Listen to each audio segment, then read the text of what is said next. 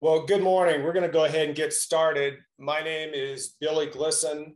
Um, life has a funny way of, of, things working out because 22 years ago, I was sitting with a guy by the name of Jim Murray, who's the executive director now at Front Range Volleyball. And he was sitting with me talking to me about why he should hire someone to teach him how to train his volleyball players when I, in fact, had never coached, never played volleyball in my life. So, why on earth would he hire me to do that? And my response was real quick and, and real brief. It was like, because because I don't bring the biases, I don't bring things that you've heard in volleyball. I'm a science guy. Uh, undergrad was in teaching and coaching, master's degree in exercise science. I'm a strength conditioning coach, but I'm really a science guy. And so my response to him was, look, I'm going to look at your players' movements. And that's what I'm really good at. If you show me the movement, I'll show you how to train it. And I'll show you how to train it in a way they'll jump higher, move faster, hit harder, and avoid injury at the same time. Um, those of you, and I know there's people here that know me that are worked with us or worked with me. Uh, I'm not a follower. The stuff I do is pretty much out of the box, but it's all very much science based. Um, I worked with Front Range for 21 years. I wrote all their strength conditioning programs, and that's where actually PowerCore actually started, probably four or five years into it. Um, in my tenure with them, a few years into it, I met Terry Pettit, who um, is now a Hall of Fame coach from formerly from the University of Nebraska.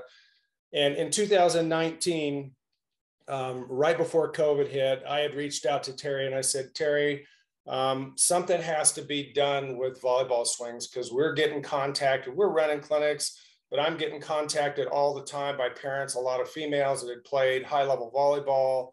And now their shoulders are torn up, some in, in some cases permanently. And they don't want they when they come to our clinics, probably a third of the people that come to our power hitting clinics are there in terms of parents. They just don't want their athlete to get hurt. Yeah, they want them to hit harder and play more and do all that stuff, but they don't want to have them tear up their shoulders. Well, Terry told me, Billy, I support it. The problem is college coaches are inheriting bad swings and bad shoulders.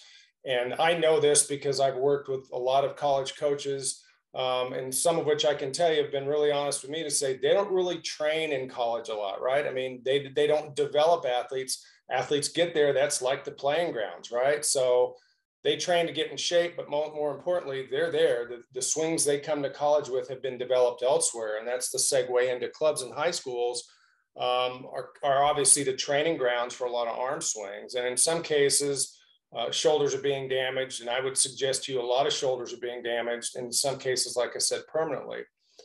The purpose of today is to inform you. I'm a, I'm a teacher, I'm an educator. Uh, and first and foremost, that's what I'm trying to have. I'm, I'm trying to change the game. Um, John Dunning from Stanford said to me about probably 10 years to, uh, ago at a, uh, a, tournament. And he said to me, Billy, you're trying to change the game. And I said, Well, that wasn't really my intent. I'm an educator, I'm a teacher. Uh, I know the science, I know the body. And so I'm just trying to help people train athletes, volleyball hitters in this case, to teach them to hit harder, but not tear up their shoulder and back in the process. I met a guy by the name of Mike Bard. Mike Bard is, is in the Denver area. He trains Major League Baseball players. And when I met him, we I had he gave me 10 minutes. He was I was recommended to go talk to him. And you know, here's a guy that's worked with Major League Baseball players. This was 10 or 11 years ago. And on the phone, he says, I'll give you 10 minutes, right? Well, two hours later, I walked out from a discussion with him. The real point with Mike Bard was he said to me, you know, Billy, when we were talking about the mechanics of hitting and pitching in baseball, he said, the problem is a lot of coaches and athletes and everybody else are parrots. They repeat what they've heard. And so I'm going to suggest to you, I, I don't support parrots. I don't like parrots. I'm a lifetime learner. And that's what I'm hoping you are, because in my opinion, it's everyone's responsibility. If you're a coach, a trainer, whatever your profession is or forte, it's about if we're working with young athletes, young hitters, um, they're whiteboards and they're going to listen to everything we say. And it, in, in my opinion, hopefully today we're going to provide some information, some education in terms of how the shoulder really works. We are going to get into some anatomy because if you don't understand the anatomy and physiology of the shoulder, you, you don't really have any basis to make the decisions you're making in terms of the mechanics you're teaching. So anyway, um, I'm hoping today that we're going to impart some knowledge to you guys um, and ultimately, we're trying to make athletes hit the ball harder for you guys to win more games, more matches, all that great stuff. But in the big picture, long term, every athlete I've ever trained, it's always been dual function. Yeah, I'm going to make you better, faster, stronger, whatever the case is. But I've always got an eye on their health long term, not just getting through their club or high school or college or even pro career but you know i'm about to turn 66 next week and i want athletes to be able when they're 66 to still go out and be active. So um, that's it. That's that's my background. Today working with me kelly fiesler is a physical therapist. She's also a strength coach.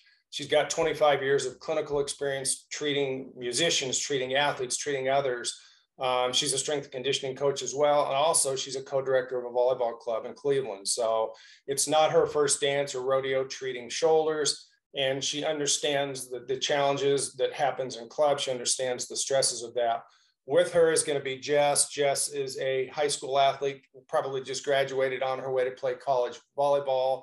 Um, you guys will meet them in just a few minutes, but they're going to give you um, a breakdown of the applied anatomy of the shoulder and, and give you visually some understanding to help you make better decisions in terms of the mechanics you're teaching and training. Uh, Nicole Edelman is, you can see her wave at him, Nicole. Um, Nicole, I met from Front Range Volleyball Club. She played there years ago. Um, she went on to the University of Colorado, was a Pac-12 All-American setter hitter. Um, at University of Colorado, um, Nicole herniated a couple discs in her low back, and you know you never know who you're dealing with. You know, I knew Nicole. I knew she was a great competitor. I really liked her as an athlete. But then I actually went to the game against Stanford, and she could hardly pick up her foot, but yet she was still um, forcing herself through the game. And then a few weeks later, her mom called me, and I'd never met her mom, but she's also a physical therapist in Boulder, and asked me if I would help rehab um, with the physical therapist that was doing the, the, the, treatment for her and help get her back from rehab PT onto the court. So University of Colorado allowed me to go in and work with Nicole and their athletic trainer. And she's a smart cookie. Nicole helps us every year. And, and when she's in the off season, not playing overseas, um, she helps us run clinics. And today she's behind the controls, uh, letting you guys in. So anyway, welcome to you, all of you guys. I'm going to jump in and I'm going to get into and, and I'm going to sh- tell you some things. And then very quickly, I know how people learn. We know how athletes learn. Predominantly, they learn visually and they learn by feel. But I am going to give you a little bit. I'm going to show you some high level athletes you're going to know. And I'm going to suggest to you that these three things are similarities. And we talk about overhead athletes. That's an athlete who either throws or hits overhead. I'm going to show you in just a minute some examples of how the body works, and then specifically we'll get into the shoulder. Three things happen with good mechanics um, because what I do is I work with athletes and I teach them how to hit, throw, kick, punch harder, and once again, protect their body from injury in the process. I'm going to suggest to you that these three things happen, and these are three things you ought to be looking for in teaching um, as you're working with your volleyball athletes, your volleyball hitters. Number one, there is a, either a step or a weight shift. And visually, I'll walk you through these things. In parentheses, I'm going to show you a couple things that you should be looking for, right? If you want more arm speed, more ball speed, if you want to terminate better, if you want to win, score more points, and protect the athlete, the spine's going to tilt backwards and the shoulders are going to tilt up. I'm going to show you that in a minute. The body is going to turn. It is not just an arm swing, but yet so many young athletes come to us and they walk into a clinic or to the gym and they swing their arm and their body doesn't move. And I'll show you in just a minute, that's not the case. That's not what we should be teaching. That's not the best way to, you'll hear this from me today, generate and tolerate shoulder torque or back torque.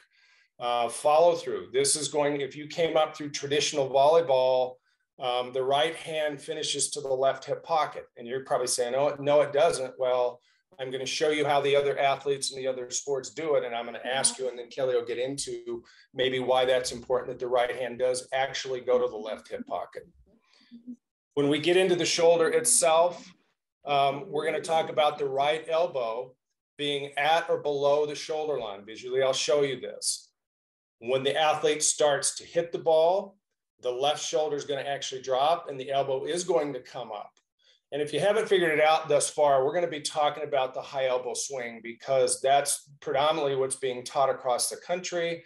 And the high elbow swing is actually creating issues, creating damage um, for a lot of these athletes. The last thing, the right hand, as we've just said, and the follow through is going to go to the left pocket. Well, that's all. Those are all great words. But now let's get into some visuals. This is a guy that everybody knows. This is the GOAT in football. This is Tom Brady. And, and the, the picture's a little blurry, but you'll see the things that I want you to see. This is him at his alma mater at Michigan a couple years ago. He's throwing the ball before a Michigan football game. And the first thing I'm going to tell you, I'll reinforce once again, is there's always a step. When an athlete is going to hit, throw, kick, or punch, and they're trying to maximize their force, their power, their arm speed, the ball speed, whatever the case may be, there's always going to be either a step or a weight shift. In football, there's a step as a quarterback.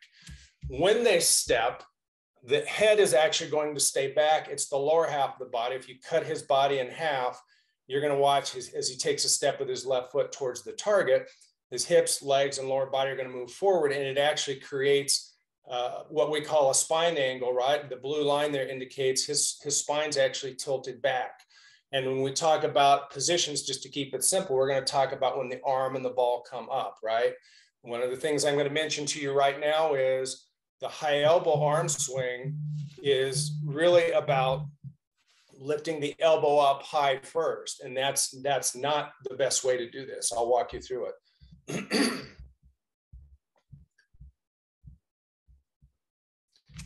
when the step happens and the lower half goes forwards, there's a what we're going to call a shoulder line there indicated by the yellow line. If we take a stick, a dowel, anything, and we stick it over the top of the shoulders, if you look at Tom Brady or any other quarterback trying to create a powerful throw, we're not talking about a five yard throw, right? That could just be a flick of the wrist.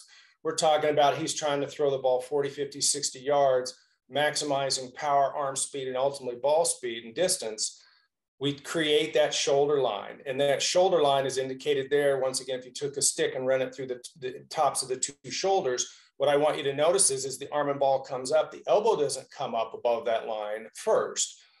The hand, the ball comes up above that line and the elbow stays down. And that's critical. That's critical for football. The follow through. This is Brady throwing, and here's watch his right hand. His right hand is going to his left hip pocket there's a reason. Kelly will talk about some of that. We'll talk through that. This is from the back view. Once again, Brady throwing. There's the shoulder line. Notice that once again, the ball and hand are starting to come up above that shoulder line first. The elbow's staying below that shoulder line. The spine's actually tilted to his left. So one of the ways that we, if I go back a frame and we keep when we keep this upper arm here, the right arm in this case, below that shoulder line, the only way we can really do that is if there's actually a tilt to the body, that the spine actually tilts to the left. So the hips, the pelvis, and shoulders are all uh, moving to the left here as he starts to release the ball.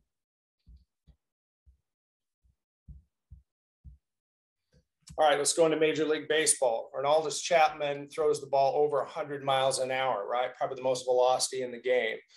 This is his ready position. The next thing that's going to happen, we step. We said there's always going to be a step, a weight shift, or in baseball terminology, there's a stride that happens. His lower half moves forward.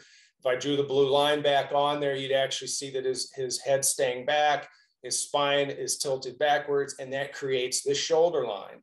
As he starts to bring his arm up, once again, the elbow is going to stay down below that shoulder line, and the hand and ball are going to come up first above that shoulder line.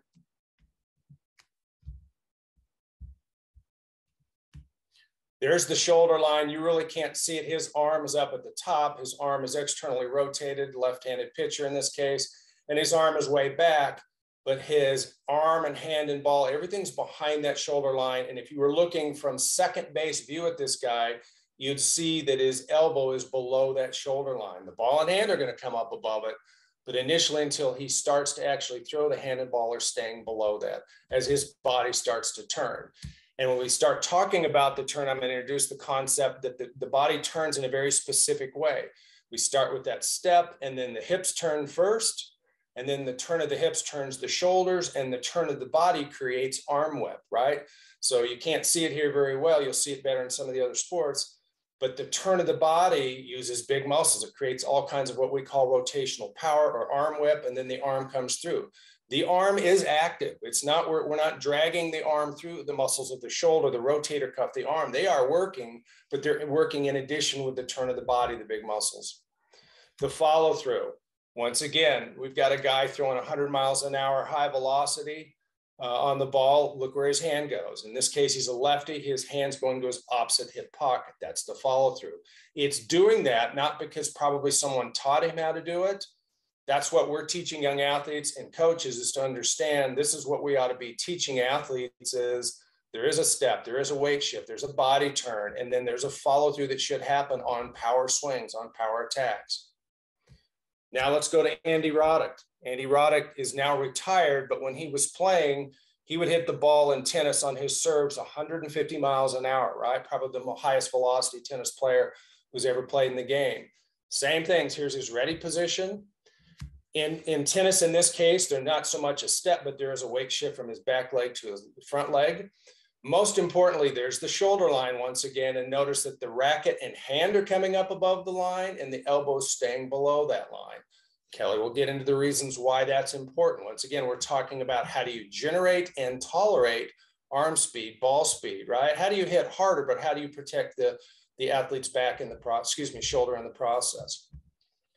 As he starts to turn his hips, turn his chest, create that arm whip, and once again, there's the shoulder line, and we didn't bring that elbow up above that shoulder line first. The racket, the hand came up above it first. Follow through.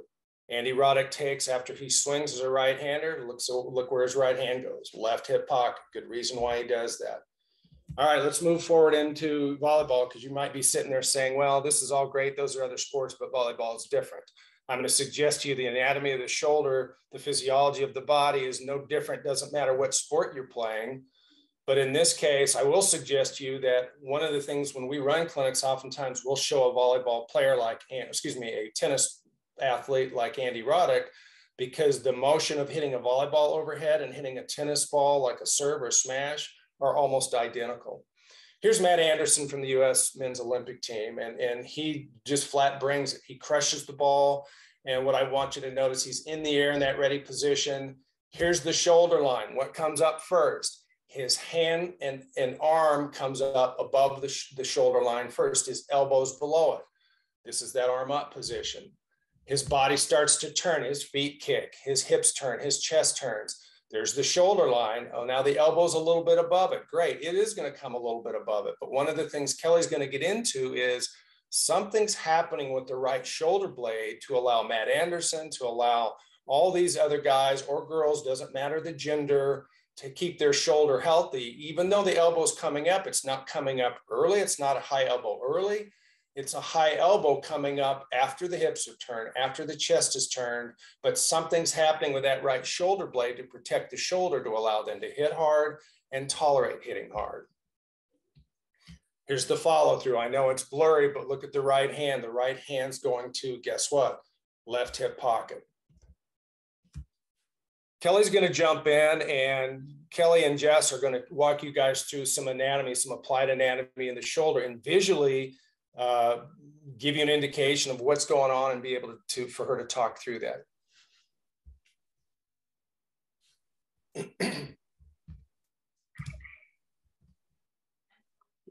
and this is Jess Mary. Billy already introduced us, so we're just going to get started. So what I'm going to talk with you and show you is today is I'm going to use what Billy just went through with you, and I'm going to reiterate it from an anatomical and a kinesiological standpoint. Anatomy, everyone knows what that word means. Kinesiology is a study of movement.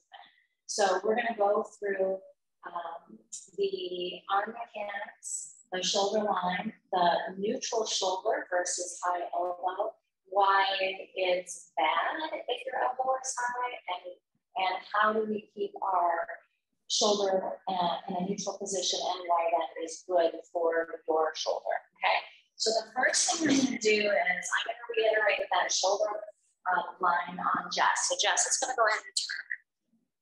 Great. And so what I want you to see is that shoulder line that Bill was talking about in video is up here. And you can see with Jess, her shoulder blades are on her back right? I'm gonna grab my shoulder blade to show you. So here's the shoulder line, and this is a scapula. Um, this is the collarbone. It would the front side of her body. So this is the scapula, okay? And it sits on your back like that, okay? And you can see Jess's shoulder blade is on her back versus away from her spine? And so what I want to show you now is the relationship to the upper arm bone, right? This is your upper arm bone, and this is your shoulder blade. I'd like everyone to, um, I'm just going to assume everyone's writing right now. So I'm going to take your left hand, and I want you to find your bicep and squeeze. And you're going to go up your bicep until you hit that ball at the top. That ball at the top is the what's called the humeral head. It's the ball at the top of your arm. Okay. As you go up to the ball, now I want you to go over the top where you feel a little ridge at the top. It's kind of like the roof. That roof is part of the shoulder blade. It's called the, um, I already just went blank for a second. It's called the um, acromion process, and it's the roof of your shoulder blade. So you have your shoulder blade and you have the upper arm bone, and they come together like that, okay? That upper arm bone, that ball sits on this round surface right here of the shoulder blade. It's called the glenoid fossa, but it sits right there, right in the middle. The important piece is that this stays in the middle of that fossa the entire time you're going to hit the ball until after you make contact. Okay? So this is what it looks like on Jess. So go ahead and turn Jess for me. Hey, Kelly. Yes. Can you get a little closer? The audio, for whatever reason, is a little bad. Can you get cl as close as you can sure. to the camera? Mm -hmm. Yeah. Is that better? Yes. Okay, great. Okay, so this is what the shoulder blade looks like on your back. This is the upper arm bone. This is a, Jess is a right-handed hitter, this is a right-sided scapula and shoulder. So the arm bone fits in there just like that. And I'm hoping that you can see, just turn towards me a little bit, the space right now between the arm bone and that roof of the shoulder blade, okay? This sits in the center of that fossa and it keeps the space there. That space is very important because all of the tissues of your rotator cuff muscles, and I know you've all heard about those, all of those tissues have to sit underneath um, the roof and they are on top of the arm bone and they have to be able to pass through there as your arm goes overhead, okay? So that's the relationship and what it should look like. So can you show, Kelly, take your index finger there and show where the supraspinatus comes through that gap? Right here. Yeah. So I'm gonna have Jess turn a tiny bit. This area right here on the bone is where that supraspinatus that we all hear about people injuring, um, whether it's tendonitis or actually having a tear, it sits there and it comes, the tendon of that muscle comes through here and has to rest right underneath the roof of that shoulder between the upper arm bone and the roof of the shoulder. Okay, so spacing there is very important. All right, now what I want to show you is um, when you lose that spacing and why you lose that spacing. So I would like to have everybody um, go ahead, you're probably sitting, which is fine. I want you to sit up nice and tall like Jess is. And hopefully you can get your shoulder blades just gently on your back, just like Jess. She's not squeezing hard, so go ahead and squeeze Jess. She's not squeezing. Hers just rest right where they're supposed to be naturally. So now what I'm gonna have Jess do is she's gonna go into that texting position, right? Not blaming you for being in this position, but we're in this position a lot. And what you can see has happened, Jess's shoulder blade has now slid away from her spine and lift your hands up a little bit and uh, like so much more. And it's now lifted up more towards here. So her shoulder blade just went like this. So it's away from the spine. It's tipped forward and, and anteriorly or forward tipped, okay? What happens there? So when Jess is in this texting position, what's going to happen is the arm bone now sits much So I'm gonna keep her arm bone where it is. I'm just changing the shoulder blade to the position it is on her back. Now can you see how little space there is now between your upper arm bone and the shoulder blade? That's where the problem begins, okay? So what I want you guys to do now is you're going to slouch. Go ahead and slouch, just relax your arms. Jess is gonna raise her arms overhead and I want you guys to raise your arms overhead. So everybody raise your arms overhead. As high as you can until you hit that barrier. And all of you should be feeling a little pressure in that front side of your shoulder a little bit or the top of your shoulder. That's your upper arm bone jamming into the roof of the shoulder that I just showed you, compressing the tissues that are in there. We already talked about supraspinatus, and the other um, main player in this is the biceps tendon. So those two tendons get compressed when you have that poor positioning of your shoulder blade. So now just lower your arms, stand up nice and tall, get your shoulder blades gently on your back. Everyone's gonna do that. Now raise your arms up overhead as far as you can. Look how much higher, Jess has a little tightness and relax, but look how much higher Jess' arms go. And you guys should no longer really feel that compressive feeling. So now with Jess's shoulder blade on her back, rotating up like it's supposed to, you can see that that arm bone, turn to your right, Jess, maintains the spacing and the position on the humerus. That's key, okay? What our shoulder blade does on our back affects how the arm bone is seated on that shoulder blade as we hit the volleyball, allowing for that free space for your rotator cuff tissues to pass under the roof of the shoulder blade, okay? Now, I want you guys to, to go ahead and you're gonna do the high elbow action. So go ahead and draw your elbow up nice and high, as most um, young players do. Um, unfortunately, this is still being taught. Um, Come closer to the come closer to the sure. camera. Okay. So right away, you guys should all feel some compression, that same sort of feeling you had when you were slouching and trying to raise your arm. That same thing is happening with high elbow. Okay. Because just the shoulder blade didn't rotate and move like it's supposed to, it's actually lifted and tilted forward, jamming that um, arm bone into the head or the head of the humerus into the roof of the shoulder blade, compressing those tissues. So now what I wanna do is I wanna show you what um, arm action should look like, okay? So can you, can you real quickly touch on something for me? Sure. reiterate, like if you were trying to do an assessment as a PT for impingement syndrome, what position would you put her arm in to test it? Um, I, yeah, that's a great point. Okay, so this right here, high elbow, right? Relax here. This position right here, let's take one step away.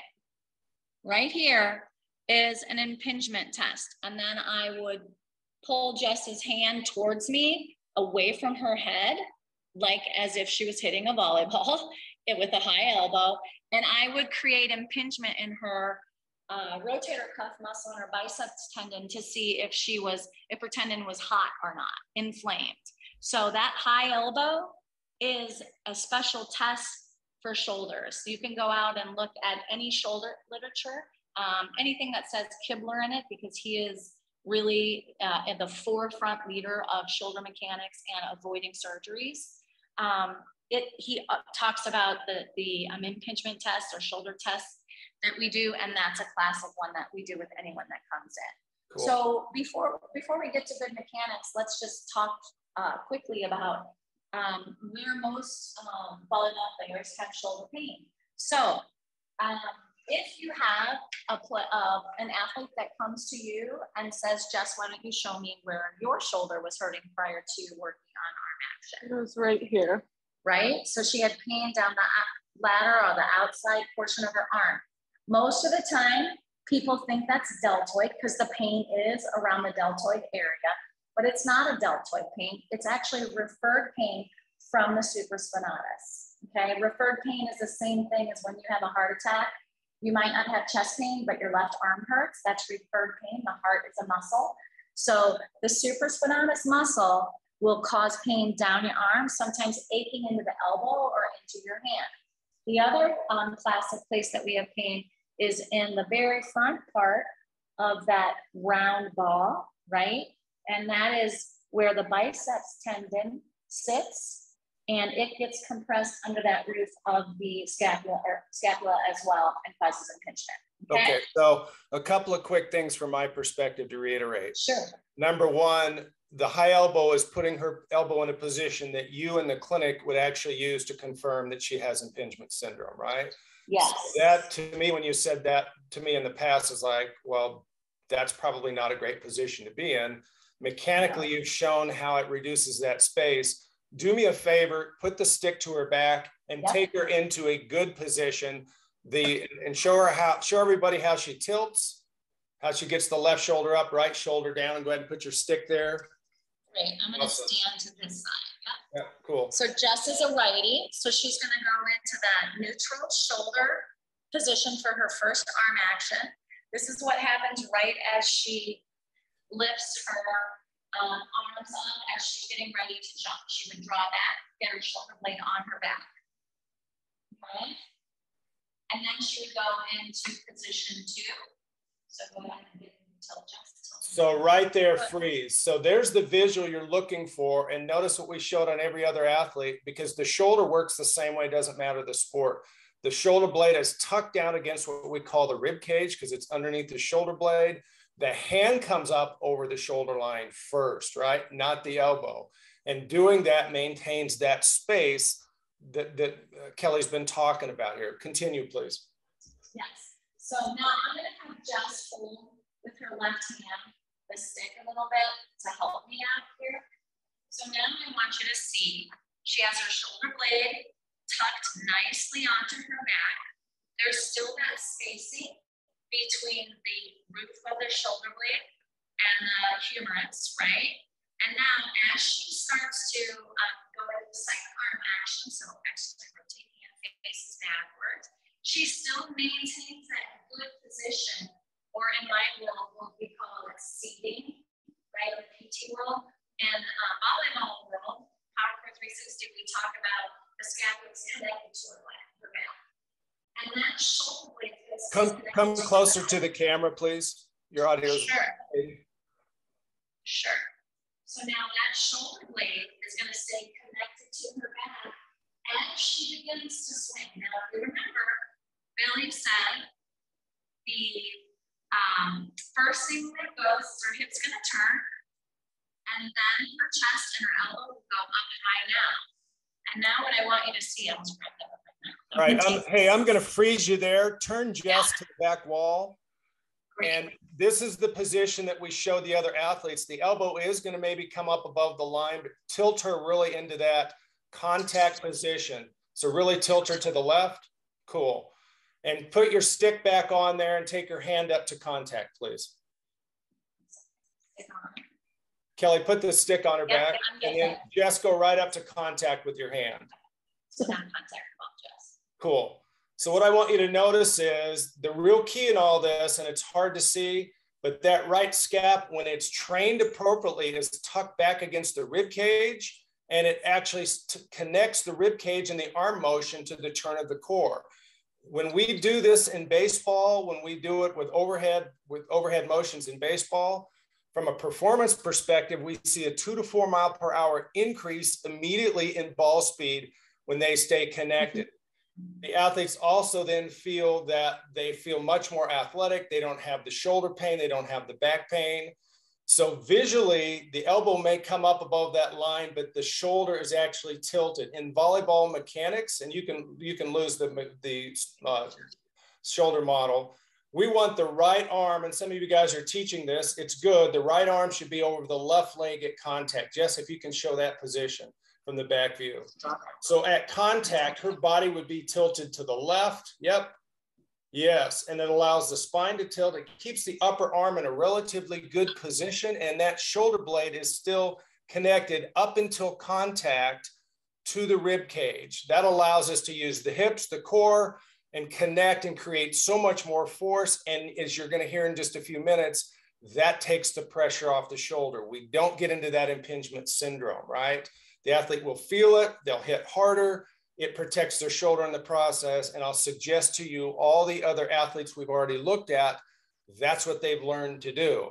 That's what we're teaching to do. And that's the information we want you guys as coaches, trainers, athletes to teach your athletes to do. Kelly, we're going to, go ahead. Sure. I just want to say one key thing is that everything that you just said about contacting using the hips, the key thing about the anatomy is, is when she's in that position, go ahead, is that the relationship of the upper arm bone into the shoulder blade is exactly the same as it was when her arm was down her side, at her side.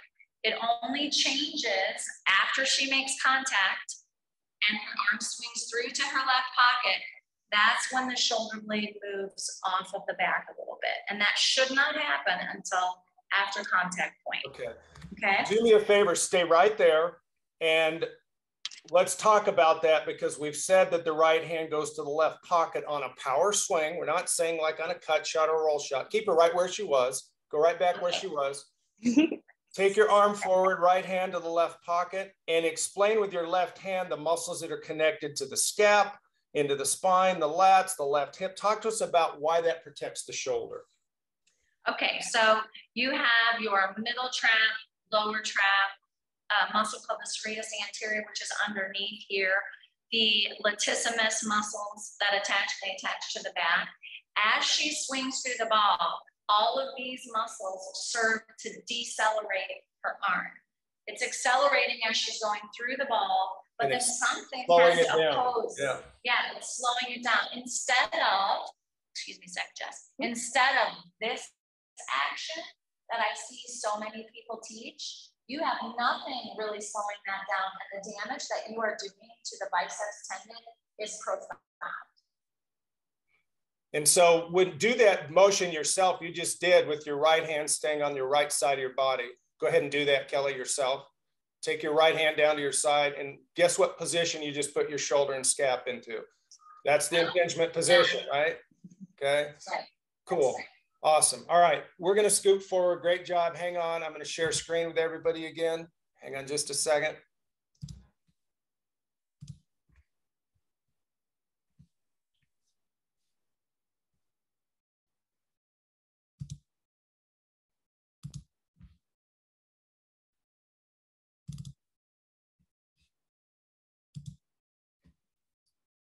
All right, can everybody see my screen? Nicole, are we good? Thumbs up. Awesome. All right. Um, I'm going to go through this fairly quickly to stay on time. But what I'm going to suggest to everybody is if we get into how do you increase arm and ball speed safely, we've talked a lot about the position of the shoulder, keeping the elbow below the shoulder line until you get to contact. And the position of that shoulder blade on the rib cage is what's known in the baseball world as scap load or in, in volleyball, we talk about connecting the scap to the rib cage. But if we go broader here, what do we really need to do to generate and tolerate more arm speed? If we number one, just don't want to use the arm and shoulder. If you look at a, a, an old balsa airplane and you turn the propeller, right? What ends up happening in that rubber band is you create elastic energy, right? And when you let the propeller go, the tension, the energy in that band unwinds the propeller, right? Well, in the body, it's the same kind of thing if we get athletes to understand and coaches and trainers to understand that the body, the muscles themselves, and other tissue in the body called fascia is all very elastic. And when we load, we use the arm and shoulder correctly. We turn the shoulder to the right for right handed hitter to the right, and then the hips turn to the left, right? And that body turn. What happens is, is we wind up to the, we go to the right, we're winding up, and we then turn to our hips to our left. It's creating this big stretch through the muscles and the fascia it loads up that elastic tissue and then we hit harder. And with athletes I've talked to, they talk about pro athletes saying that it's like effortless power. The effortless power isn't because I'm trying to muscle the whole swing. I'm loading and I'm stretching into the elastic tissues of the body. And so um, when we do that, it's not just a shoulder swing. We want to use the legs, the hips, the core, the buttocks, the arms, the chest, the rotator cuff, all that together The difference is when we teach a clinic, we take a super beetle on the left and say, if you took a stock super beetle, it has 25, 25 horsepower to it. It's a small motor. That's kind of what the arm and shoulder does, even with a turbo on the arm and shoulder. If you make your arm and shoulder and rotator cuff strong, so maybe you got a turbo. Now maybe you've got 75 horsepower out of your shoulder. But if you look at a Corvette, a Corvette has a motor in it stock right now that's almost 500 horsepower. It's a huge motor, right? The Corvette is your hips, your legs, your core, your abs, your buttocks, your chest, your shoulder, your arm. It's everything together. If you can learn to load into the elastic tissues of the body by rotating, coiling up, moving your right arm and shoulder correctly, and then turning your hips to the left, you're going to load into the Corvette. You're going to hit the, the ball so much harder. And most importantly, for the athlete, their shoulder and back is going to feel so much better because they're not putting their shoulder in a bad position that might create impingement, pain, damage, or something else. So the big key is then we're trying to teach athletes how to load into these elastic tissues. How you do that is very specific. A couple of other things we've talked about. This is an athlete. If you watch the video we sent out ahead, this is a 17 year old a year ago, got shut down, played on one of the top teams in Colorado, right? Won an open tournament last year. She got shut down in January because of high elbow position. Her shoulder was so inflamed that the doc shut her down. They came to me. We worked for a couple months. And what did we work on? Taking her right shoulder blade and connecting it to her rib cage strengthening the muscles, but strengthening the muscles with her elbow below the, shoulder line as she pulls it back, and then turning her hips, turning her chest, turning her shoulder with that scap connected. That's how we create that power. That's how we tolerate that torque on the shoulder. Once again, we're reinforcing the right elbow needs to stay at or below the shoulder line. This is one of the clinics we did last summer. We have one here this weekend. Same thing. You can see these athletes. We're teaching them how to tilt their shoulder, left hand up for right-handed hitter, draw the elbow down, connect it to the rib cage, and then they're going to rotate. This the strength and conditioning, and I'm a strength conditioning coach. Uh, Nicole, excuse me, not Nicole Kelly is as well. But what we teach is not just the basics for lifts. It's not just squats and RDLs and lunges, right? Those are general exercises that'll make you generally stronger. All you guys are working with rotational athletes. These patterns, these movements that we're teaching are highly specialized, Uh, highly specific. So what we do and what we want you guys to learn to do is we use harnesses on the hips, we use bands, we teach the hips as a primary first power source, right, to create the rotation of the body with the arm in a good position, how to turn the hips, because when the hips turn through the abdominal muscles, big strong muscles, that's going to turn the rib cage. The turn of the rib cage, especially with the arm in a good position, is going to create that arm whip. We're going to strengthen and condition the, the, the muscles that create the, the movements of the body that we want the athlete to learn to do. Highly specific, highly specialized. And once again, once we wind up, we're basically going to turn our shoulders to the right and we're going to unwind and release that power by turning the hips and belly button to the left. In summary, before we get into Q&A, poor mechanics for a lot of athletes equals pain and sometimes injuries. And so what we're hoping to have done today is provide some kind of anatomical and physiological basis for what's going on why the high elbow isn't a great idea to teach for all the obvious reasons. And I'm going to give you some new terminology. People talk about sometimes when they swing the way where other athletes are, are throwing or hitting overhead, they call it a low elbow, but they say it in a way that it sounds like a derogative comment.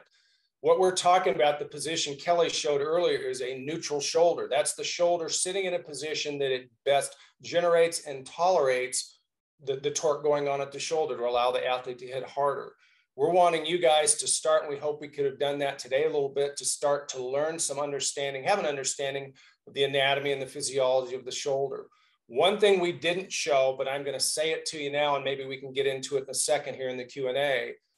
When you keep your shoulder down in that neutral shoulder position with that elbow below the shoulder line, when that arm comes up and the body starts to turn, you stretch and you load a muscle we haven't talked about today called your pectoralis major.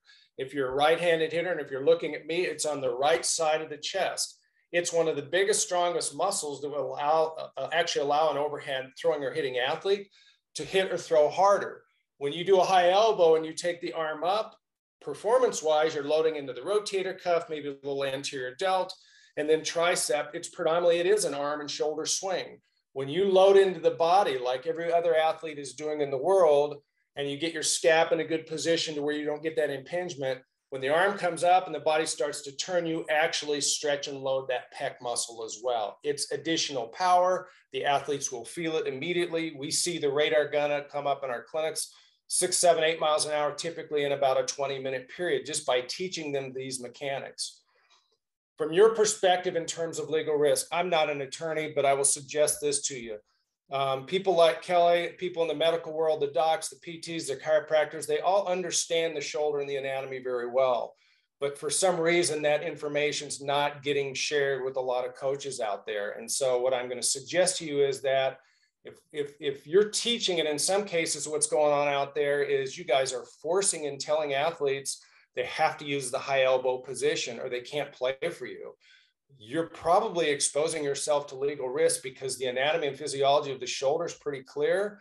If you had Kelly or somebody like that put on the stand and you're telling athletes they have to swing in a specific way, then you might be putting exposing yourself to risk you don't want. You're certainly not doing a, you certainly are doing a disservice to the athlete. We would love to be a guide for you, right? We would love to help guide you guys, be a resource for you, to help teach you more of the specifics of how do you how do you how do you teach the body to do this how do you do it fast um, and, and, and i'm going to play before we quit before we go to q&a i'm going to play this is a video this was recorded yesterday this is a 16 year old that's in our master class right now. Her father's a physical therapist.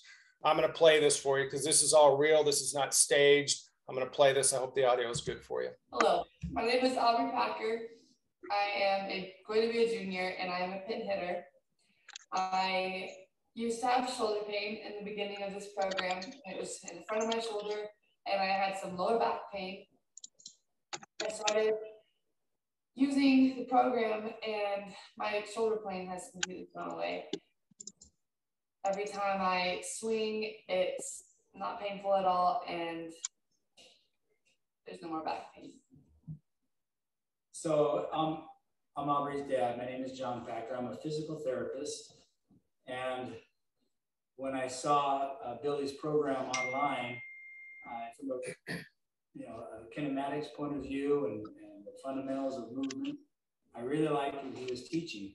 I didn't have the knowledge of uh, how to incorporate a volleyball swing uh, with safe shoulder movements. And when I saw what he was doing, I said, this is it. This is really good.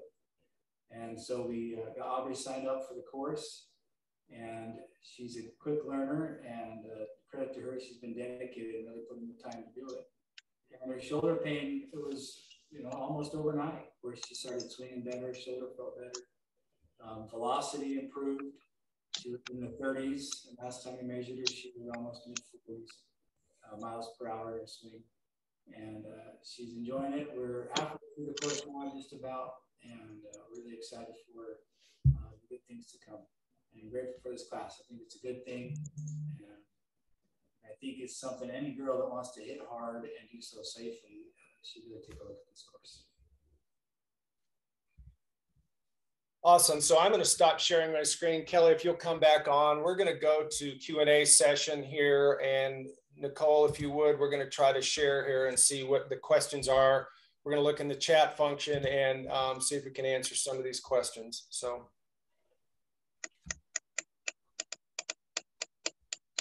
Hey, Nicole, if you would maybe just verbally um, ask a question for anybody that's asking, if you'll say it so everybody can hear it and then we'll address it.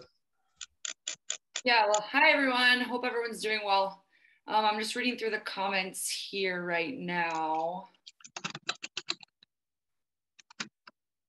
Um, I think something also that we can talk about, or Billy, you can touch upon is um, I think at the beginning when I was learning this as a high schooler, I think it was hard for me at the beginning to understand how starting with a low elbow or a low load turns into a higher contact point because um, you know again like what we talked about with a neutral shoulder or like a lower elbow how does that correlate into having actually a higher contact point?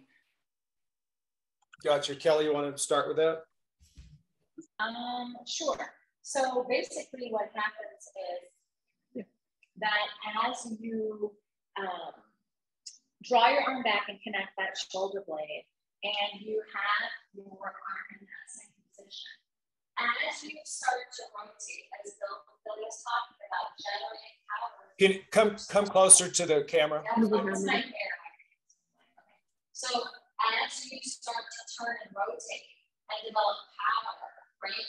The only way that you use that power is for your shoulder to be connected. But as I start to go from my right tilt to my left tilt, it automatically allows my elbow to come high right before contact. And that, that motion is what allows that elbow to go high. We don't, like we said, we don't want to high elbow early. It's kind of like baseball throwing. There's a fade, the phases of throwing. There's phases of volleyball hitting. And as you start to turn through, um, as your arms, your uh, chest starts to come through, it will automatically bring your elbow high so that when you contact, you're able to contact at the very end of the length of your arm versus here. I'm going to try to reiterate that because Kelly, your audio is not good. I'm going to, I'm going to, it's all right. You do the motion as I talk them through it. So turn your back sure. to me, please. And yeah. so go through a, a, a load phase, right? So there's our setup. We go up in the air. And basically now, right now, we could imagine that sticks there. What's going to happen is she's going to take a step, right? And the, in, in the volleyball, the step is the attack, the approach. The hip's going to start to turn. The turn of the hips is going to start to turn the chest through. Now, what ends up happening is go back to the start, Kelly, for just a second. When she's up in the air, notice the left shoulder's higher than the right. That's common. That's what it should be doing. But when we get to contact, because of the turn of the body, go ahead and get up to contact, Kelly. And if you'll face that black door behind you, please, so we see your back. Uh, no, turn, turn your back all the way to me. Very good. Cool. Right there. Cool. Notice now that she's got her arm up. If we've done a really good job of connecting her shoulder blade, her scap to her rib cage, the arm and elbow have went above, but because we've rotated, the right arm gets above the left leg, the axis of the body, the spine, if you would, has tilted, right? That's what we have to teach the athletes. Some will get it on their own. I made a mistake years ago and I learned working with a D1 outside hitter in the summer because go ahead and get your shoulders parallel, Kelly. The coach called me the first week and said, Boy, she's hitting the ball hard and every ball is going out of bounds, left side, right? So go ahead and turn for me. If the shoulders stay parallel and so at contact, if the right arm is over the right leg, as it is right now, more than likely she's going to hit that ball and that ball is going to get pulled outside out of bounds, right? The reality is getting to a good position now. If at contact, the right arm ought to be over the left leg. That way they can turn their body crazy, create all kinds of rotational torque, get the arm and hand on top of the ball, hit a line shot, right, to a deep one, right? That's what we're looking for. But it starts with the step, with the hip turn, the chest turn, and the arm being in a good position.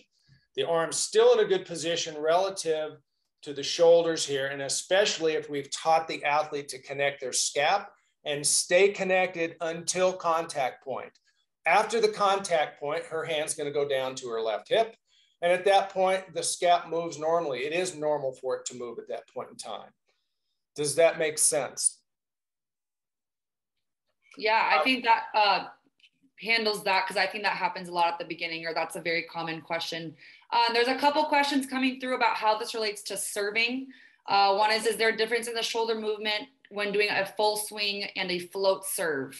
Yeah. So short answer is these are power swings we're talking about. If you're hitting a jump jump serve, a power serve, or a spinner, something like that, we're trying to create power. So this is that the mechanics we're teaching you today. It's not a floater, right? If you're hitting a floater, we're not we're not doing the same thing we don't have to be as concerned with that because you're not putting as much force and torque on the shoulder the back and the body but when you're trying to hit a jump serve and you're trying to bring it and hit a spinner and have it drop we want power we want spin so this is going to be the same thing when we're training the athletes when we start with we want them to be able to do these motions on the ground then we go into the air and then in a few sessions a few hours a few weeks whatever the case is then we're going to start converting that into a jump serve for the older athletes. Go ahead, Kelly. Well, I would like to say with the younger athletes, and I, I do a lot of training. Come closer, please. Sure. I do a lot of training with eight year olds on up.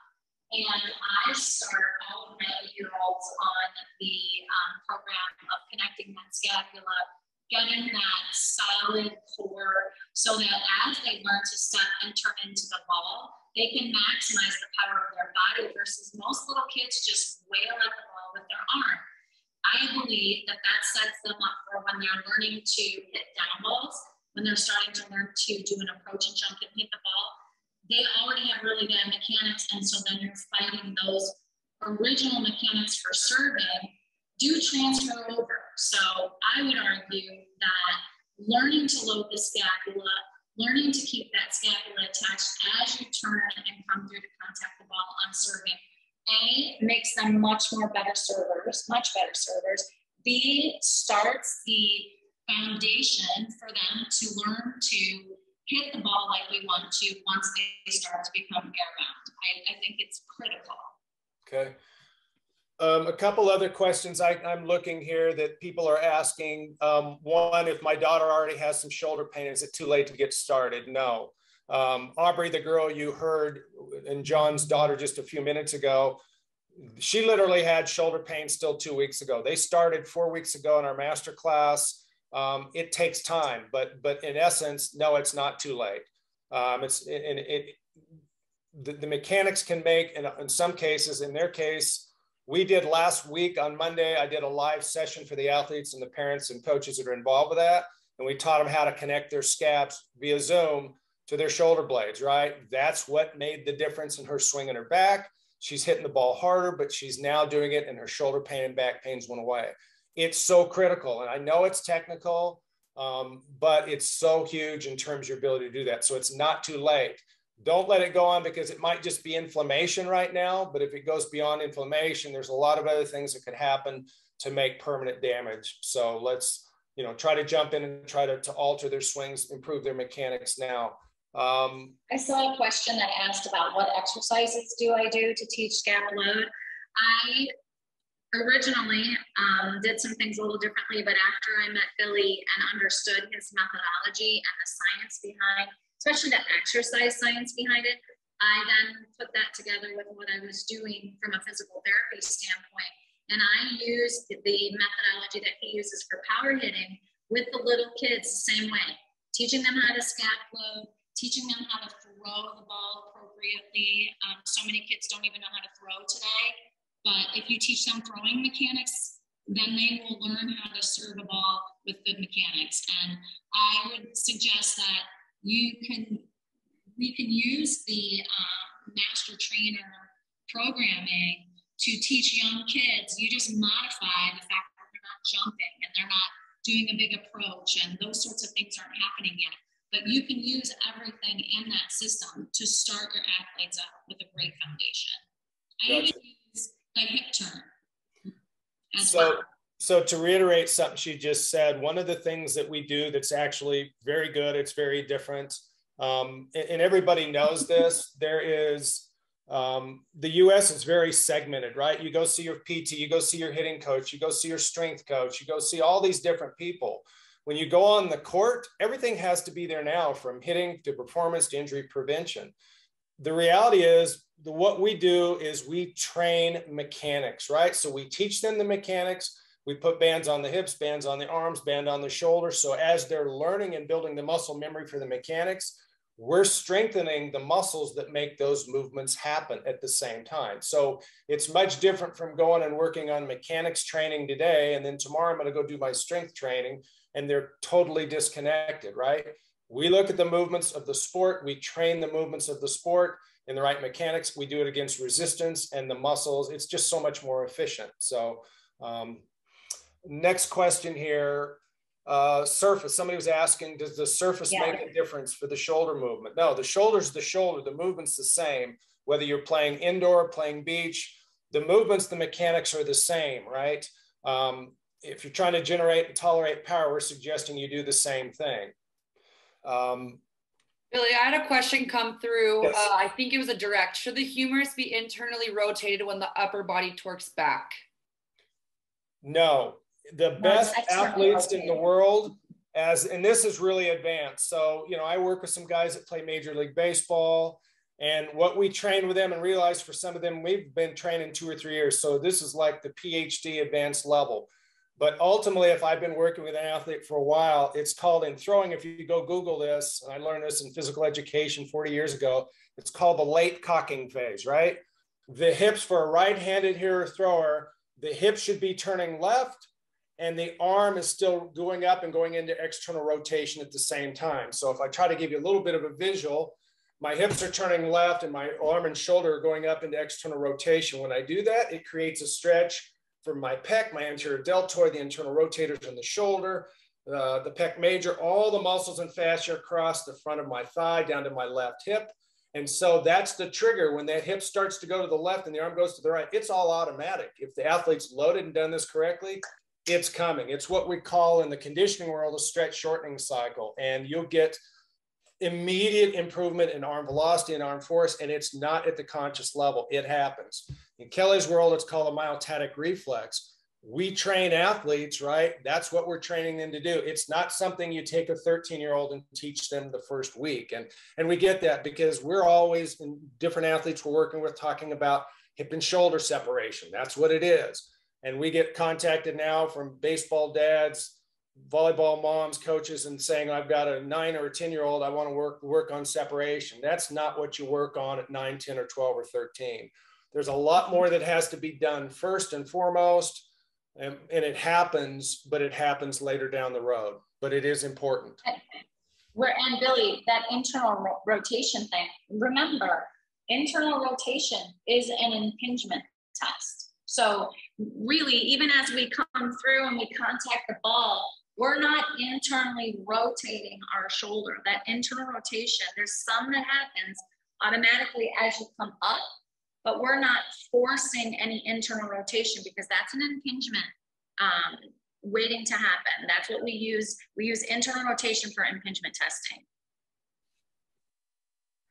Um, and Kelly, let's see if we can walk them through a visual of that. So go through and go just right, right where you're standing. Go ahead and go into your load phase. So you're taking your scap and shoulder turn to the right. And now go ahead and go into external rotation with your right hand up. And as she's doing that, what I was just saying a minute ago, her hips would be turning to the left at the same time. If her stat, if her right shoulder blade stays connected to her rib cage, as her hips and chest start to turn, and the elbow starts to come up now to the ball, Elbow comes up, elbow comes up, comes up, scoot back to the left so we can see you're going out of frame. Then we're still connected to the, so the turn of the chest, turn of the shoulders, we're not putting that big internal um, rotation force on the shoulder because we're still connected to the rib cage and back. And now if her chest keeps turning to the left to the doors to her left, and then the arm follows through to the left pocket, that's how we generate using all the big muscles, all the connective elastic tissues of the body. That's how we generate and tolerate that and take the stress and pressure off the shoulder. And that's what we're trying to do spread it out, get that isolated shoulder torque and force off just the shoulder. The shoulder's still working, but it's working with all the other big muscles of the body that can create that rotational power. Nicole, what else you got? Anything else? Yeah. Uh, next question. Would one use the front arm to pull down and generate power and change the shoulder angle? I'm assuming front arm uh, refers to non-hitting arm. Yeah. So here's here's the key, and here's the analogy we teach. It should hand your left hand should come as a right-handed hitter to the center of your chest, right? And it comes down quick and early. And what happens is they do that. It's just like a figure skater you see in the Olympics when a figure skater goes into a tight, fast spin, their hands, arms, and legs all come in straight to the center of their body. That increases rotational torque, right? When we're doing assessments, right? So we're working right now with a lot of 13 and 14 year olds. And, and what will happen is, Kelly, if you'll show this, when they start to work on the right arm action, we work on that first, their left hand and arm will stay out in front of the body. And that's going to slow down Kelly's shoulder turn. That's going to slow down rotation some of you guys I know right now are working with your daughters. Within a week or so, we'll start telling them to bring their left hand down to their heart soon and fast. So go ahead and do that, Kelly. That helps now create more rotational turn of the body. That's going to increase more arm speed, more arm whip, and ultimately more ball velocity. So it's not the first thing we do. We're concerned with other factors first, but we will get to that point where we just say, bring your left hand to the center of your chest, bring it early, bring it quick and you'll see it. You'll see the athlete turn faster, turn further. You'll hear it in the ball with the ball coming off the hand. It's just creating more body torque. There's a question about the left arm coming across to the, or the right arm finishing to the left pocket on a line shot. No, if you're hitting power down the line, that's a hip rotation thing. The faster you turn your hips, the harder you're gonna pull that ball down the line. Um, so it's not going to, um, you would not, so I think a lot of people think that when you hit line, you should be doing this. That is incorrect, okay? Use, if I'm coming in as a right sided hitter on the outside, if I'm coming in, I'm up into the air, it's a contact point, right? I'm hitting the ball here and finishing and turning my hips through as fast as I can to pull that ball down the line. It's not changing where your arm finishes. Yes, there are shots in volleyball. Obviously, there's cut shots across court to like the four. That's not a power shot. If I'm jumping in the air and I'm cutting that ball to the four, if I'm on the outside, I'm not swinging as hard as I possibly can. The mechanics still are the same all the way to contact, and then I just cut my hand down, thumb down to push the ball to the right side of the court or their left side. But I'm not changing my mechanics, and that is not a power shot. So those are two different things. Gotcha. Nicole, anything else we're missing here? There's a lot of questions starting to Yeah, come there's a couple comments just about resources about scap loading. Um, oh gosh, we're getting more coming in. um, also, let's see, there's one, I, I think I can answer this, you guys can jump in. There's one kind of uh, more specific to volleyball, just talking about if you have your left front player, which is facing the center, facing the court as a right-handed hitter. You also have your middle hitter and then your your right side hitter. Um, and so basically the question is how does that change or does your footwork change or how you're opening up um, depending on where you are on the court and where your setter is. Um, long story short is that your approach and uh, basically shouldn't change. If you're a right handed hitter on the right side, if the ball has to cross your body, you still have to open up to generate power. Because if you're just facing your setter or just facing the net, is which we see a lot of that in the clinics, then that's when we have that shoulder pain. That's when we can't generate the power and speed that we need. Um, so, anyways, maybe depending on the preference of the hitter, their um, line of approach can change. So it can be more outside the court or more inside. That's fine. But they still need to be opening their body and rotating uh, to create that uh, power and speed. So I hope that answers that question.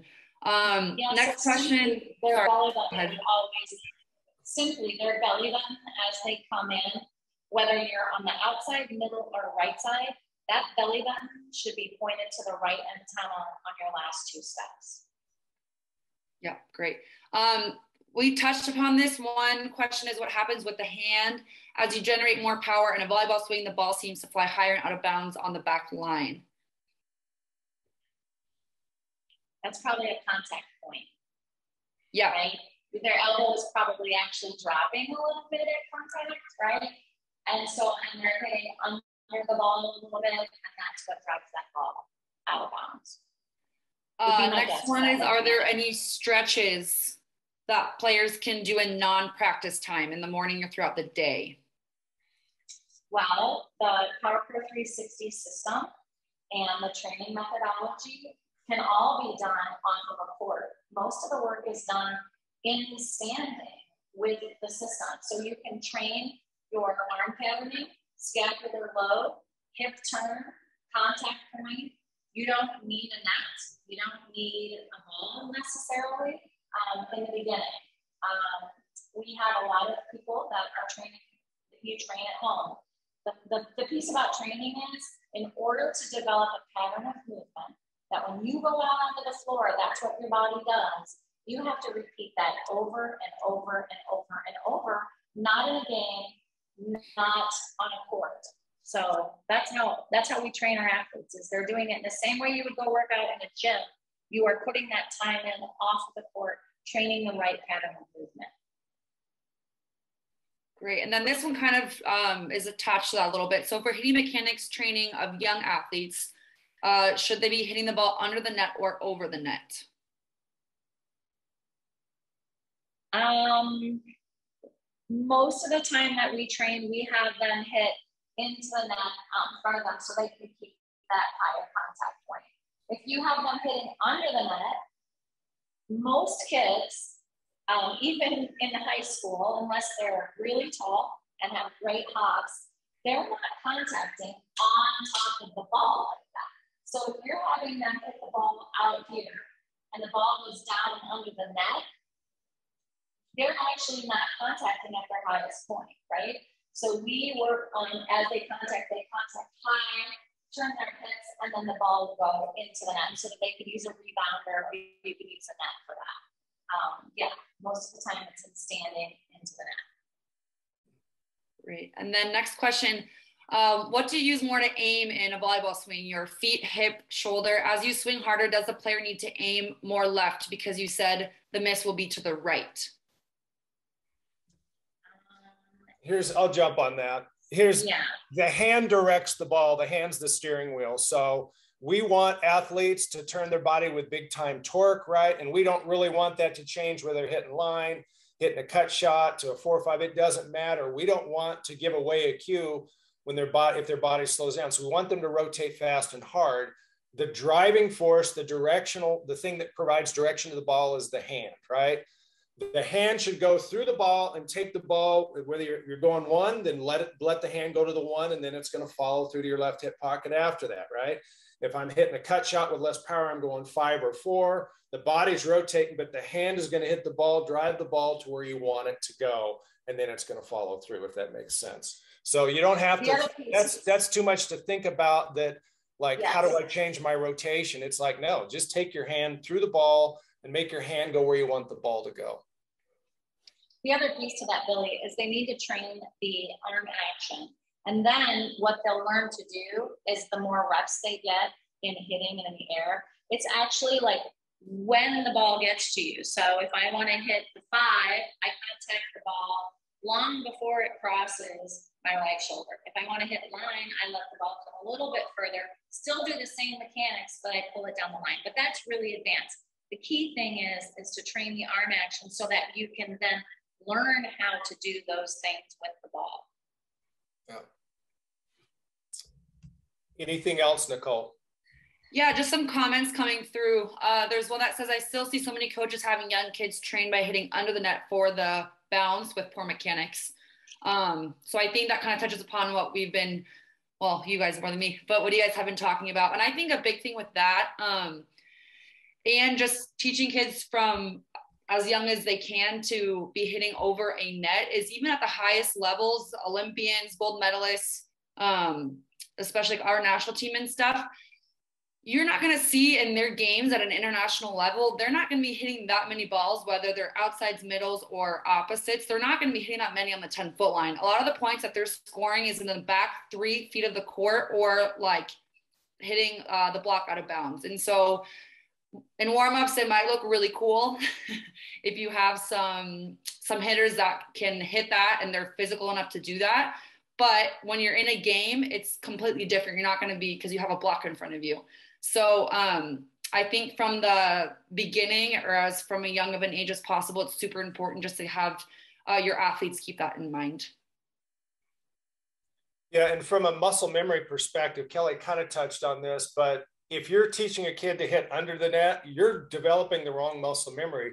And that muscle memory doesn't go away. So if they did that for a year or two years, they're nine or 10 or whatever, and they're hitting under the net, you're going to have to try to change that now when they're 12 13 or 14 and it, it's not a matter sometimes parents come to our clinic and it's like oh my daughter just needs to know how to do this in her head it's not a matter of cognitive knowledge right it's not a matter of knowing how to do it you've got to go build a muscle memory through thousands of reps doing it whatever way you want to do it so if an athlete's been 9 or 10 and they're hitting underneath the net the brain the nervous system has built that muscle memory those are the instructions and that's what that athlete's going to learn to do now they come a couple years later and you're wondering why they're always hitting the ball into the ribbon or into the net.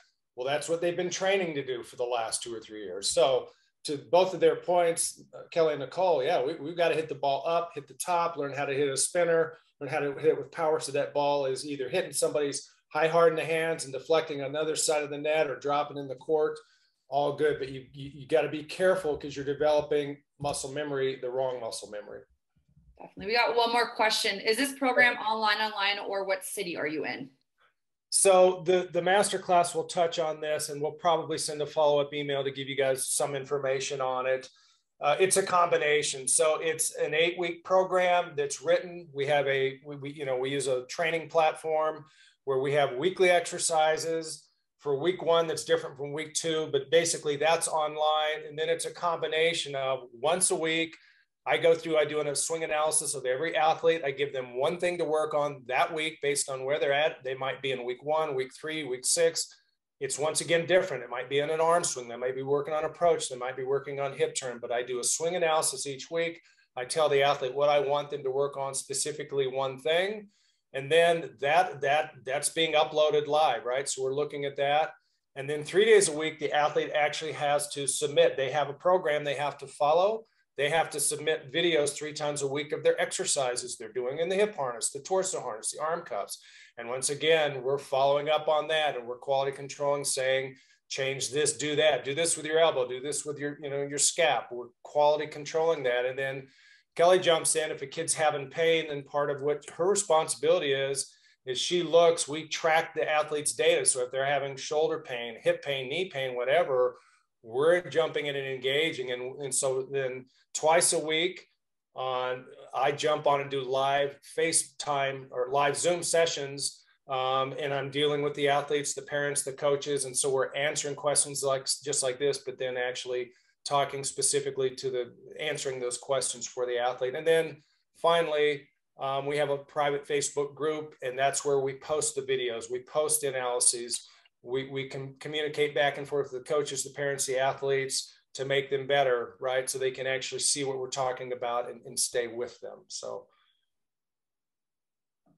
so I guess long story made short, that's a long-winded way of saying it's a combination between online, but there's a lot of live stuff that happens. That way you're getting us, you're getting our expertise, and not just on mechanics or strength and conditioning. Nicole's a part of that. And so we'll talk about the mental side as well and other things. And, and even one of the things, Sammy put a question up here about, um, you know, cold stretching versus active warm ups. And so that's something that's huge. And, and those are the kind of things we address with the coaches, with the athletes, with the parents, because to that point, I'm gonna go ahead and answer it.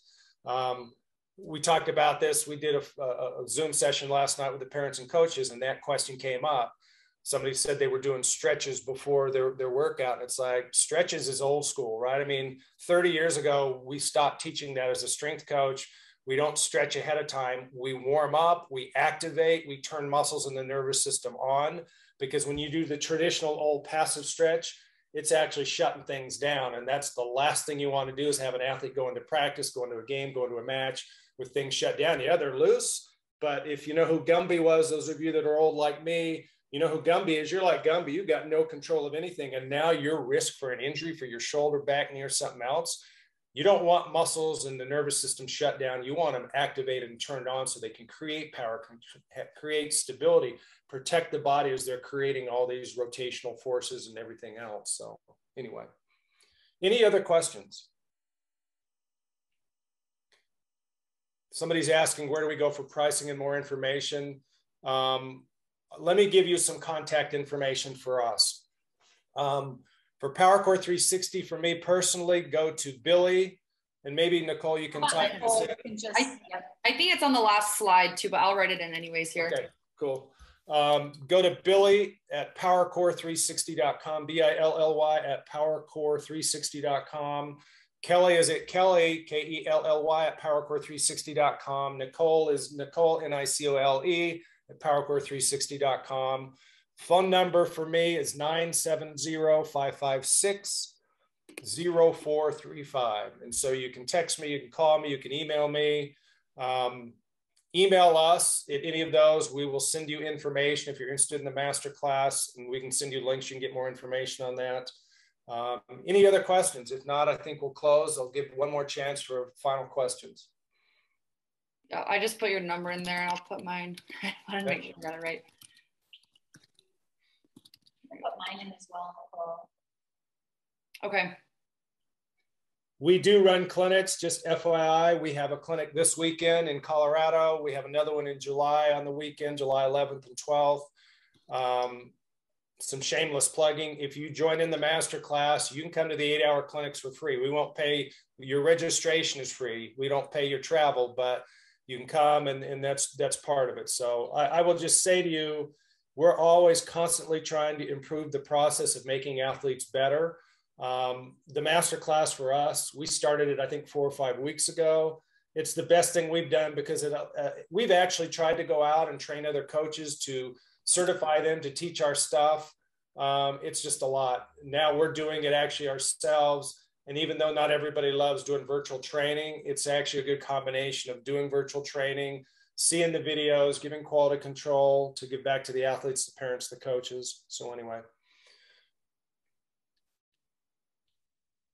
Um, I do see one final question. And so someone asked, can you talk about what you're teaching versus what my club does and fear about playing time? Yeah, that, that is such, that, that's a real issue. So I'll say it in a different way. I guarantee you this weekend, as we start teaching athletes, all this stuff we're teaching them there, the athletes are going to feel it. The ball velocities are going to come up. They're going to start feeling it. They're going to look better. It sounds better. The some parents going to say to us because we do breakout sessions. We bring the parents in, and the parents will say to us, "Okay, but our coach at club is teaching the high elbow, and what do we tell the you know what do we what do we do in that environment?" And the short story is this: that's where I think there's personally, I think there's legal exposure if you don't take the time to educate yourself about the shoulder, the anatomy, the physiology, and you're still teaching that, and now you're forcing an athlete, because I know it happens, where I've heard it from, you know, the, the, the, coach will say, you have to swing this way in this club. Well, in my opinion, boy, you're exposing yourself to some liability because if that kid gets hurt, personally, I think you you own that injury. But what we end up will tell tell the parents and tell the kids is um, I don't think, and this is my opinion, Kelly and Nicole, you guys can speak to this in a second. We want the kid to learn the right mechanics. I look well beyond what they're playing at 13, 14, 16, or 18. You know, I mean, I know Terry Pettit, I know John Cook, I know a lot of those coaches. Um, you know, I knew John Dunning when he's at Stanford. So I, I have a pretty good feeling for what they're looking for. And they're not looking for tore up shoulders. They're not looking for injuries. And that's what they're getting. So, you know, we're trying to teach the parents and the athletes to say, you need to make a change. And in my opinion, if you need to change clubs, then change clubs. Because in essence, if it was my son or daughter, um, I'm going to pull them, right? I'm going to take them somewhere. I'm not going to destroy my kid's shoulder, their back, or their knee for somebody's ego that won't take the time to actually get educated and informed about how the body, how the shoulder, how the back, how it all works. So it's tough. I realize that. We will deal with it this weekend. Um, but usually we just say to the kid, I think most coaches, if you start pounding the ball and score, most coaches are probably going to leave you alone because most of them probably don't care. And I'm probably speaking for the choir here, but maybe I shouldn't be. My guess is if your kid's hitting the ball hard or your athlete's hitting the ball hard and scoring, um, a lot of coaches don't care how they're doing it. We do because once again, we care about their health and their welfare long term. Kelly, Nicole, I'm sure you guys have feelings here. I was just going to say, I agree with everything you said. The only thing that I would add is to remember that, uh, and I'm in the club world, and I know it can be very, um, you can be fearful of switching clubs because you're on such a great team, even though this coach really isn't training my child right or whatever. The bottom line that you have to remember is colleges are not looking for teams, they're looking for athletes. And as long as you play a schedule that allows you to be seen, meaning like that national to open schedule, you're going to have opportunities to have college coaches see you, right? So they're not looking for the team, they're looking for an individual player. And that to me, you should, your number one should always be who's my coach and how are they going to train, period. Yeah, I think based off of that too, um, I have now that I'm older, I'm out of college and all that. I have a lot of um, all my contacts now are mostly either still playing or in the coaching world. And a lot of the times it's, you know, not the 17 or 18 year old that can like hit the 10 foot line that has just like an arm, like an elbow swing. Or when they're facing the net, it's like, oh my gosh, I saw this 13 year old today that was so dynamic you know and it's it's okay like if you're making mistakes at the beginning especially with your younger athletes um, because it comes over time. But if someone can see like that athletic potential from a young age, and it's like, okay, I can do something with that, right? Or oh, I, I can see them develop more. Um, so I think it's it's just worth worth the time um, and effort to put into this for those steps. If um, you do have athletes that do want to play collegiately, but also for the health of the shoulder and the body as well.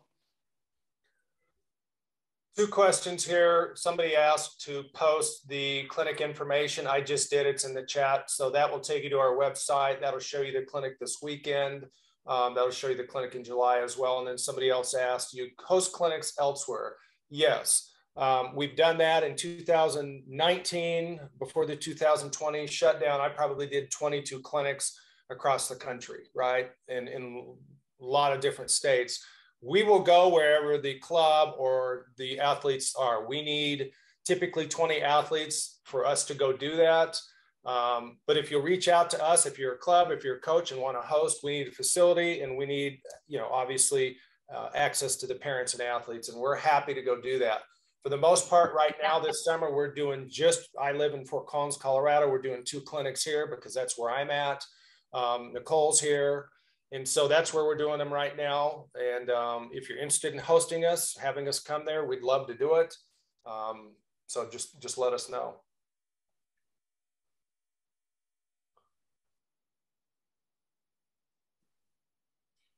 Awesome. Well, I'm going to go ahead and close. I appreciate everybody's time and questions. Once again, if you have other questions, comments, there's a lot to this. Um, there's a lot we do. It's we're happy to share a lot of it. Just reach out to us, reach out to me, Kelly, Nicole, whatever. That's a good starting point. Uh, we're happy to share with you guys and uh, go from there. Appreciate your time. Appreciate your questions. Kelly, Jess, Nicole, all you guys appreciate it. And every all you guys out there attending. Thanks for your time. Thank you guys. Appreciate it. Thank you. Yeah. Bye-bye. Take care. Talk soon.